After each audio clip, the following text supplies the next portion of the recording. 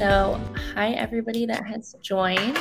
Um, my name is Carmel Tavori. I am one of our sales development directors here at Demandbase.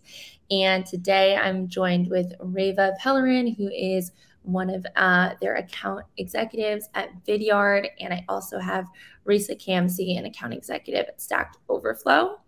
Um, we are going to be talking today about tips for up and coming sales professionals. So, before we jump in, I would love to pass it over to each of you, let you introduce yourselves, maybe give some background on what kind of brought you into sales, and then we can jump into the different questions. So I guess Reva, I'll pass it over to you first. Yeah, sure. So hi everyone, nice to be here. I'm gonna probably close my blinds after I do this intro.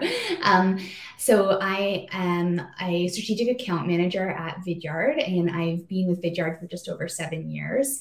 Um, previous to that was an account executive at Oracle, so I've been selling marketing tech and sales tech for a number of years now and super excited to be part of this uh, LinkedIn Live. Awesome. Nice. Um, yeah, I'm Risa. I'm an account executive at Stack Overflow. I also am a part-time SDR trainer at a boot camp called Trainio. And then I also do some like kind of freelance consulting work on the side. So I've always kind of had three jobs. So that's kind of what I'm up to these days. I love it. I'm excited to hear the different perspectives of how that ties into some of the different questions we have lined up today. Um, amazing. So I guess let's get started with like the foundation. Like, how did each of you get into sales originally? What drew you in? I feel like this is usually a winding road for most people. So, um, yeah, how did you guys get here? Yeah. Do you want to go first, Risa? No, you can go ahead, Reva. Um, so yeah, I got into sales. It was an interesting way in. I was in recruiting after I graduated, um, and I was doing my MBA part time. And a friend of mine was at Oracle as a business development rep, who I had done my MBA and my undergrad with, and he asked if I'd be interested in interviewing for Oracle, and I thought like, what? I was so naive. I like didn't know what sales was, and I, I was like, "But we're not engineers. Why would we work at Oracle. I'm so confused. And so he was like, no, it's like a cold calling role. Like, and I was just like so blown away. I did not know this type of career existed. So I was like, okay, sure, I'll interview. And that, so it's kind of just a random decision to interview. And so I, I was in the business development role. I was on a track for like BDR leadership. And at the 11th hour, I, um, a VP of sales approached me and I was like, oh, can I do sales? I don't know. I've never considered myself a salesperson, but I took that role and the rest is history. I guess I've always been in sales since. That's amazing. Yeah, so I actually got into sales kind of out of necessity. I was a waitress for about seven years. I, I had graduated college and I didn't really know what I wanted to do with my life. So I had just been working in nightlife and then lost both my jobs in March of 2020 due to COVID. I was in the Bay Area at the time, so everything shut down for 16 months. And in that first couple months, I was like, okay, I can sit here and feel sorry for myself, or I can learn a new skill. And one of my colleagues, actually from nightlife, she was a bartender. She was at that point in time a director of marketing in a cloud security company. So I called her up and I was like, hey, like, how did you transition from nightlife to tech? And how are you doing what you're doing? And she's like, if you're serious about this, I will tell you exactly what to do. And if you follow these steps that I give you, you will get a job in tech and you'll start as an SDR. So I did exactly what she told me to do. I did a boot camp. Um, I did interview prep with her, and then she got me hired. So it's awesome. That's incredible. I love that both backgrounds are different, but like brought you to a similar space. And I just think like that's one of the best things about sales too is like it's not about where you're coming from, it's about your work ethic, your drive, you know, what you bring to the table. And anybody can really make that work for themselves if they're willing to put the hustle in. So that's awesome. I guess following up on that since both of you have such like different experiences and you know are now here I'm sure there's a lot of lessons you've learned along the way. Maybe you wish you knew when you started and things that you're kind of learning every day that optimize the way that you work. I would say, first, what do you think is maybe the most valuable thing that you've learned so far? And maybe also, like, as a follow up to that, what do you feel you wish you knew when you started? It's a really good question.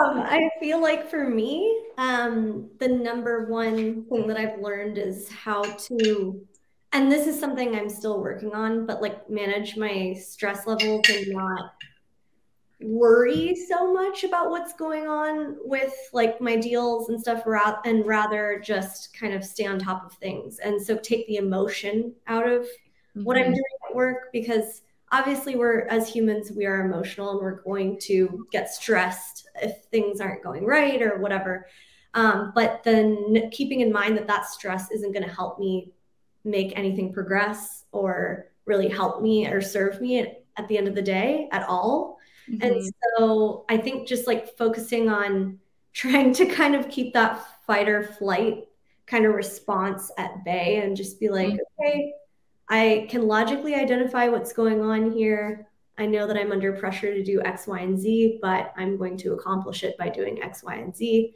And I'm not going to just sit here and worry about the outcomes because I'm taking care of business no matter what. Totally. Was that something that was passed on to you as well when you were prepping for your interviews originally and like making that transition? Um, think no, I think that's just something I've kind of like learned like throughout being an SDR and an AE mm-hmm. because even with I was so stressed out at my first SDR role. I was only making like $40,000 a year and I was working like 12-hour days because I was so stressed about doing a good job. And when I mm-hmm. think about that now, I'm like what was I even thinking? So, I think just like managing my stress levels and then manage learning how to manage time like time management have been like my biggest things throughout my career. Yeah i would say that mine are sort of on the same wavelength. The first the thing i wish i knew but you kind of can't get there unless you go through it i feel um what i wish i knew starting my career is that there are many ways to be good at sales. When i mm-hmm. started 10 years ago it's still very male dominated, but I was like often the only girl or one of a couple girls on a team. And so the people that you look up to, the people who are on the top of the leaderboard or the loudest personalities, are often these men who are in a very similar cookie cutter type uh, person, to put it blunt- bluntly. And so it was tough, like, trying to emulate them and like not feel like I was them at all, like very aggressive. They would they were great golfers. They read about the economy. They like were into finance and investing and I was like I can't have these conversations. I don't watch sports. Like I I don't build rapport with my clients like that. I must not be good at sales or I must not have the skills to be good at sales. And um it was only like after like years of being in sales and like sort of questioning like there were many years where I was like, hey, I got to get out of it after this quarter. Like, this isn't the career for me. And mm.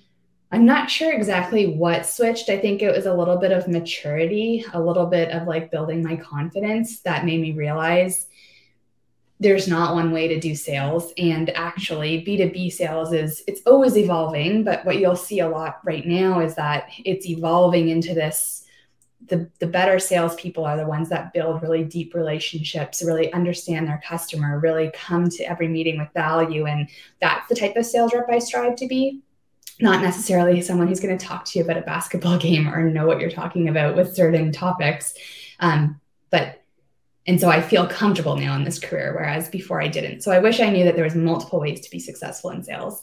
Um, something that I have learned in terms of like getting through. I don't know if this is the answer to the second part of that question but times are tough in sales. Right now times are probably tough for people that are on this live stream. I know it's tough for me but knowing it's so cliche that this too shall pass is helpful helpful even for mental health. I don't know if anyone suffers with anxiety or depression, but like once you've gone through it like seven or eight or nine times, you realize like I've been here before and mm-hmm. also I get through it and it feels better. And that's the same with sales. Like when you go through low times, just being able to catch yourself and be like, I've been here before. And I know that if I do XYZ and focus on this and be kind to myself, next quarter is going to look totally different. So that kind of gives you hope in these like dark moments of sales. Yeah. Yeah, absolutely. I love a few of the things you just said. First, I kind of wanted to dive into um, this idea of how like not all sales looks the same. Couldn't agree more. I think, you know, from my perspective, looking at the way that we coach our BDRs, like that's something that we harp on a lot, like really putting your personality into it and breaking through the noise and being creative. What are ways that you double down on building that relationship to really like be authentic to yourself through a sales cycle? Because I, I feel like there's a lot of ways to do that, but what has really like helped you stay grounded in that and propel your sales and deals forward? Yeah, so I think it's a mix of like knowing when you can take something from someone else's process and incorporate it into your own, and when you can say, that's cool, great for them, but it's something that I can't do authentically. Mm-hmm. And so, um, I, for instance, like Vidyard's a product led growth organization. So, something I do a lot and find a lot of success in is talking to the the AEs and the BDRs who might use our product in my customers and mm-hmm. learn about like how do you use us? Like what do you get from us? Do little interviews with them to collect their their stories. Mm-hmm. and then like bubble that up to leadership. Other people might be and you know there's like a time and place for both but other people might not like doing that type of work. I like doing that work because it makes me feel really like prepared and aware of what's going on. So, like a bit of context, I, I have a very small book of business. I work with like 20 customers. And one thing I love about that is I think I'm the type of sales rep who really likes to intimately understand a customer. Mm-hmm. And so, mm-hmm. like, collecting those sound bites, even though not every rep on my team likes to do that work, they might find it a little bit of a waste of time, or not even a waste of time, but just like, I don't see the output of that. Whereas that's something I love to do and I find it super helpful. So that's just one example. Yeah. Yeah, absolutely. I feel like you're really putting yourself in the position of being like a strategic consultant and I think people really gravitate towards that in a in a sales process. Um, for both of you, you uh, Reva just mentioned like it is tough times in sales right now. Everyone is going through it. Um, what are ways that you both are focusing on kind of fighting through that. I know that you both touched on this in our ebook and talking about how you're selecting specific accounts, you're trying to really double down on them during these tough times. But can you give us a little bit more on like what that means to you? Is there a process that you're following? Is a certain workflow, the way that you're communicating with these accounts, like how is that looking for you? For me, um, me and my manager just started doing like a regular pipeline review. So we've we always have like forecasting calls where the team will talk about their deals and what's kind of happening with them. But we just started syncing regularly and just like going through each opportunity I have and saying like, okay, what was the last step you took? What's your next step? Or if they went dark, like what are a couple things we could do? But I'm trying everything, you know, like anything you can think of, we're we're doing, like we're troubleshooting, like multi-threading reaching out like building groundswell by reaching out to ics and like bubbling these issues up to leadership or decision makers. Um, we're we're just trying a lot of different things. And so um, yeah i think just that has been the most helpful thing for me is like meeting with my manager one-on-one and just going through each opportunity and making sure that like we're on top of it and doing everything we can to bring it in this quarter. Oh, absolutely I would say that for me, so like a few pieces of advice, it depends on what your book of business looks like. If you have like a massive book of business, you have like hundreds of accounts, I would really recommend, if you haven't already, going through a bit of like a tiering process in your accounts. So, really understanding where your product shines, what your ICP is, and then zoning in on ICP because you don't have the bandwidth to be wasting your time on deals that aren't going to close. So, number one, tier your accounts based on where you're most likely to win. Um, the second piece would be using LinkedIn data or other data. I, I know, for instance, at Vidyard, a couple things that matter to me are are you in our ICP and how many sellers do you have for, from a licensing perspective? So I would be going to LinkedIn, documenting those numbers, and then organizing my account list. And then from like a Vidyard data perspective, I'm looking at things like, and if people are listening and they're in a product led growth world, or you might have other intent data, if you're using like a platform like Demandbase, taking that into consideration and tiering your accounts so that you have a good idea of like what accounts are showing intent, what accounts have XYZ crossed off that make them a really good candidate, and cut all the other noise out, figure out a way to be more automated in those lower tiered accounts and then hyper focused on your big ones because that's just going to increase your chances of closing deals. But also when you tier your accounts that way you can close bigger deals in those bigger those better accounts. Yeah. Yeah absolutely. I think the combination of like being organized and being really diligent and meticulous about where each opportunity lies like who needs additional support, who do you need to further communicate with, as well as understanding like what is our best fit account? Where do I need to really like personalize and be, you know, more strategic versus what is less likely to be a fit for our business? I'm biased coming from Demandbase for sure, but mm-hmm. like you know it it works it really makes such a difference and i love that you're both you know touching on both sides of the spectrum because I think understanding your account list is such an important piece to understanding where to optimize your time. But then also, like beyond that, do you need to bring in additional resources? Do you need to pull an exec in, somebody else to help you like move the deal along? So, totally agree. I think those are great points.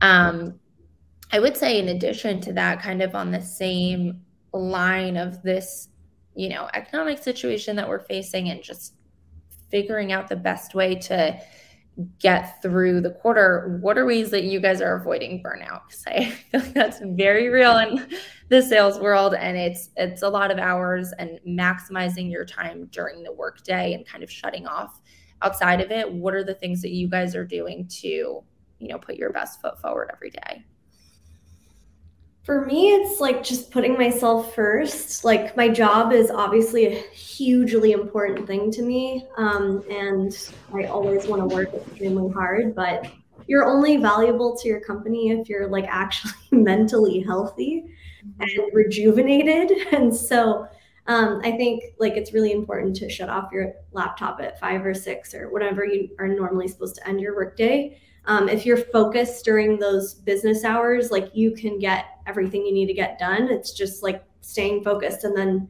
having the boundary of like, okay, I'm shutting this off and I'm going to yoga or whatever, however it is you decompress. I think also like prioritizing that non screen time. Like I, I'm definitely careful about like, okay, I just got off work. I'm not going to try and watch TV instantly or like be on my phone. I want to like go do something that doesn't involve a screen Mm-hmm. And then I can maybe come back and watch uh, a movie or something. But that's been the most helpful for me. I sometimes suck, often suck at dealing with burnout. Um, again, I'll go back to that that comment I made where like once you've been through it enough times, you start to identify like, oh, okay, I've done this before and I need to do something different, or you just become aware of like a pattern you may have been in. Um, one thing I've done this year is invested in a mental health coach for work, which has been helpful. He's given some like tactical tips on how to identify when burnout's coming because at the beginning of burnout actually like the first phase of burnout is called like the honeymoon phase where it actually feels kind of good um, but like now i'm kind of aware of that and i realize that that might be leading to a bad situation um, i would say that right now what I'm doing is I've like, for instance, deleted LinkedIn and Slack and my work email off my phone because I found I was just kind of checking it unnecessarily, as we all do, and having it not on my phone has made my phone extremely uninteresting because I don't have a lot of social media on it. So like it just kind of forces you to put the phone away. Um, but I think too, just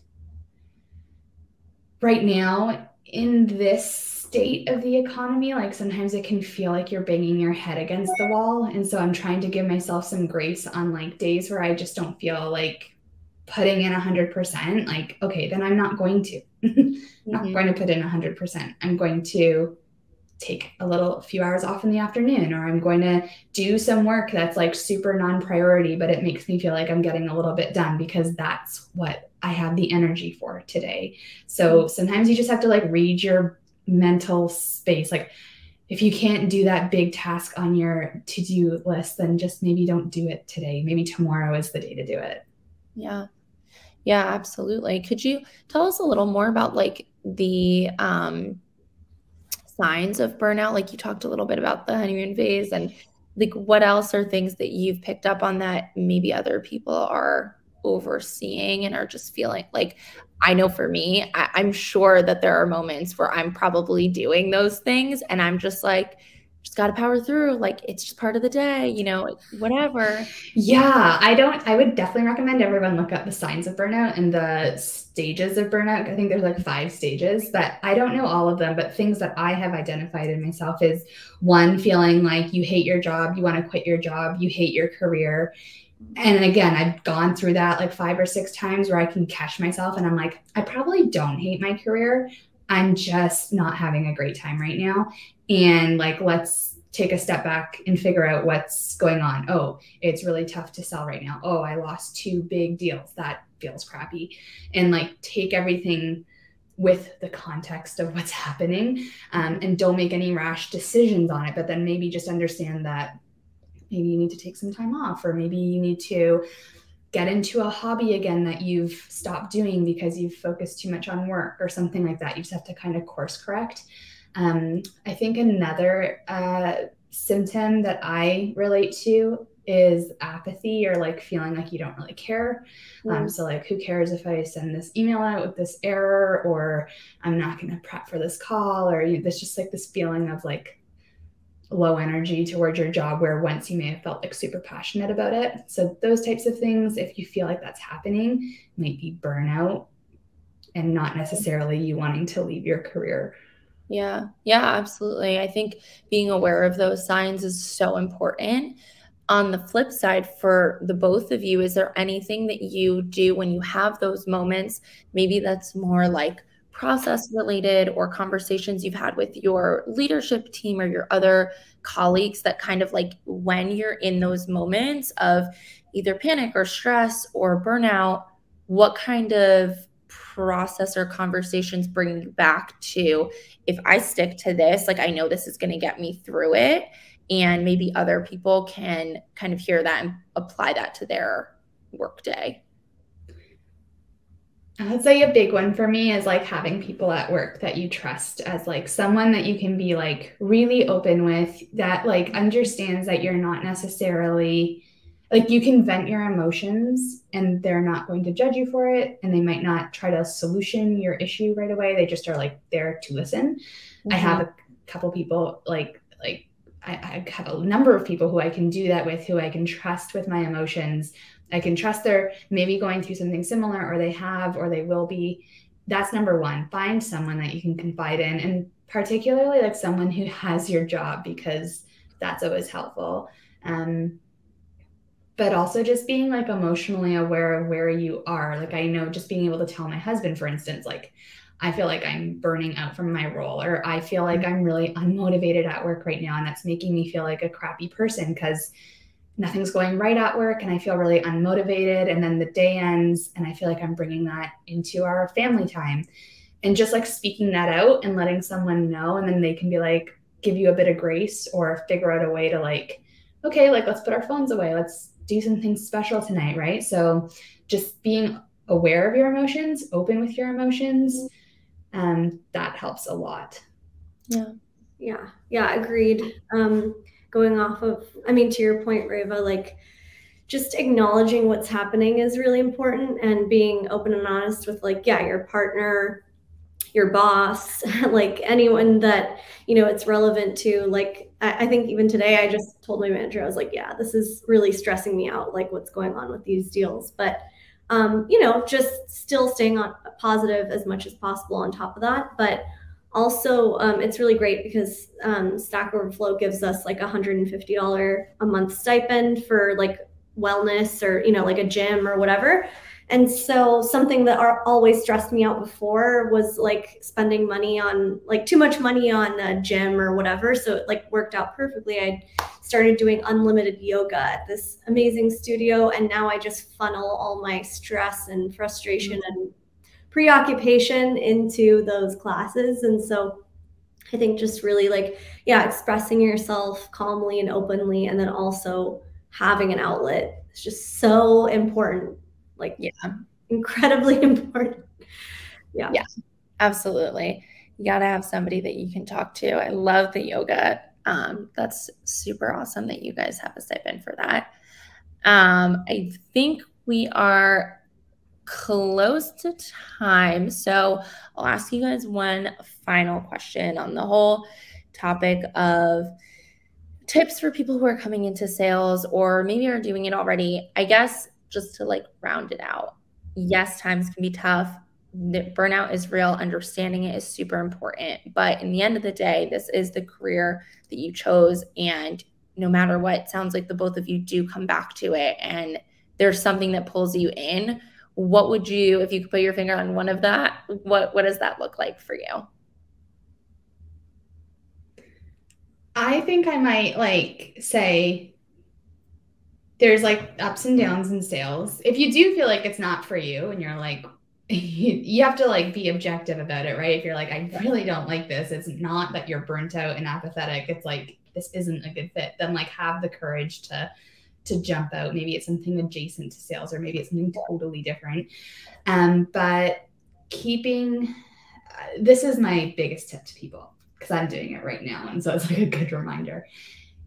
In hard times, like right now, like there is still so much in your power. There, it's really easy to be like, it's a downturn in the economy and my territory sucks. But that ends up like making you feel even worse because it's like, well, what can I do? I just have to sit here and wait for things to get better.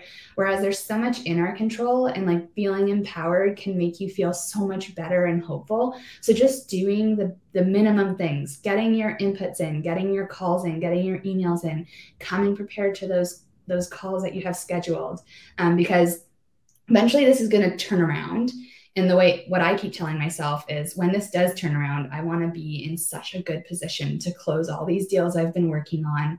And I don't want to be kicking myself for having given in to like, what what can I do in this time? So keep doing your daily, like what you need to do to be successful.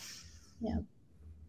Yeah, yeah I think for me it's like making sure I'm using these challenges as learning moments. So like to give you an example, like, you know, three different things went wrong with big deals this week. And each of them were kind of like completely different from the next. Mm. But now, moving forward, I'm like, okay, I'm going to do this differently next time and I'm going to do this differently next time and I honestly feel like it's it's also possible to just still feel grateful for like for example, I'm a fully ramped AE in like one of the hardest like economic situations right now since like I mean 2008 was probably worse but you know it's just it is a little bit challenging right now. So if I can be somewhat good now like I can be amazing in a good economy and just like keeping that in mind because you know I see people around me struggling. I know other people at other companies are struggling. And so